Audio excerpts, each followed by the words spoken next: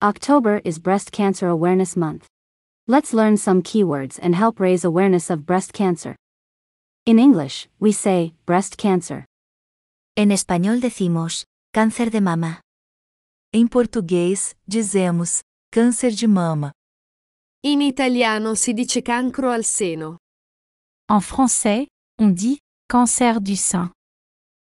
In English, we say pink October. En español decimos outubro rosa. Em português, dizemos outubro rosa.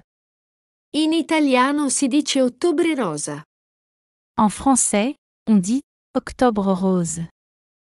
In English, we say mammography. En español decimos mamografía. Em português, dizemos mamografia. In italiano si dice mammografia.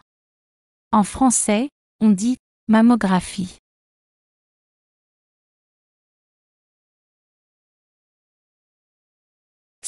Mushroom.